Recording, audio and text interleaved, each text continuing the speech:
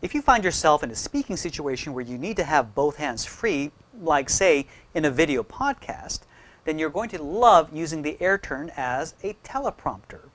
You can see in this triple video feed how I advance each slide in this PowerPoint presentation by using my foot and reading off of the screen next to the video camera.